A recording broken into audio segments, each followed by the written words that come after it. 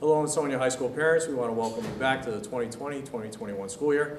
Tonight, we'll be holding our open house virtually, which means you will go into your child's classes, you'll learn about the curriculum and expectations. You'll do this by going through the Google Meet, much like your, your child does for Wednesdays, 1 through 8. When you're in the classroom, you'll be in there for about 10 minutes. It'll be just enough time for teachers to explain their expectations, um, the curriculum, and how the class is going to work, being both hybrid and then once they go live. It is not time for individual conferences. If you do have any questions, you could always email your child's teacher.